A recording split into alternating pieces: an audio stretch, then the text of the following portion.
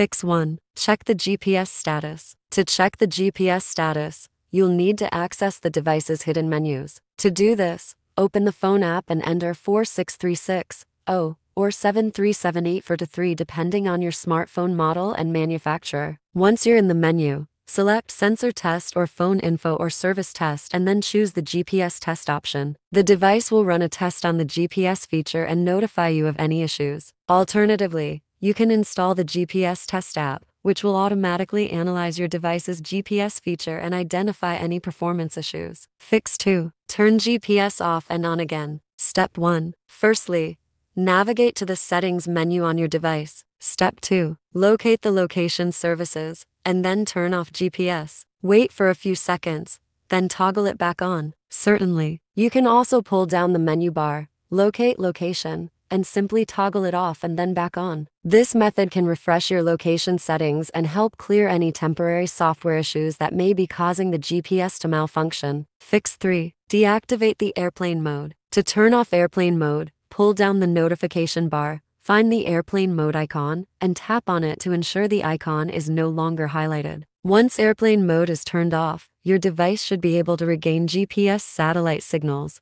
thus restoring navigation and location tracking functionalities. Fix 5. Disable power saving mode. Step 1. Go to your phone's settings. Step 2. Find battery power saving mode, and then disable the power saving feature. Doing so ensures that your phone can fully utilize GPS functionality when needed, providing accurate location services. Fix 6. Update Android phone. Step 1. Go to your phone's settings. Step 2. Find the About Phone or System Update option. Step 3. Check if there is a new software version available. Fix 7. Restart Android device. Press and hold the power button on your phone, then select the Restart option to complete the reboot. The reboot process clears temporary data on the phone and reloads the system, which can sometimes restore normal GPS functionality. If you've tried other methods and they haven't worked, Rebooting may be a quick and effective solution. Fix 8. Seek professional assistance Android repair. Step 1. After launching the Android repair tool on your PC, click on the repair option and select Android repair. Next,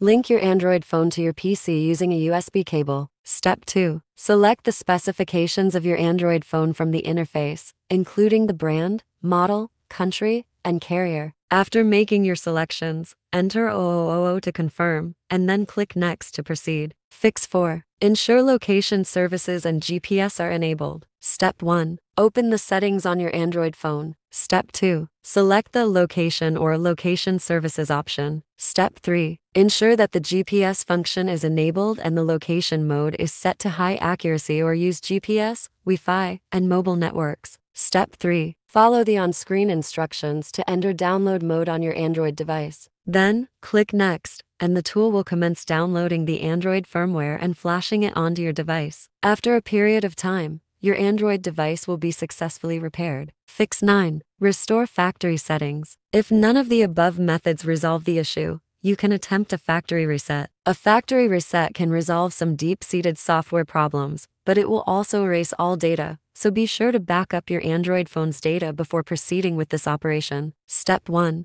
On your Android phone, launch the Settings app, then scroll to the bottom and choose the Backup and Reset option. Step 2. In the Backup and Reset interface, uncheck the Automatic Restore and Backup My Data options to prevent the automatic restoration of data and settings after the factory reset. Step 3. Tap on the Factory Data Reset option, then in the confirmation dialog that appears, tap the Reset Phone button to confirm the factory reset.